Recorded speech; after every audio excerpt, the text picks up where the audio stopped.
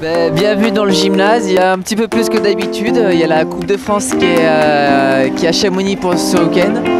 C'est la dernière étape de la Coupe de France, donc euh, il y a beaucoup de monde, il y a eu euh, à peu près 200 grimpeurs hier et autant aujourd'hui. Donc ça fait, ça fait du beau monde à Chamonix, la neige est au rendez-vous, les grimpeurs sont en forme, donc tout va bien. Voilà.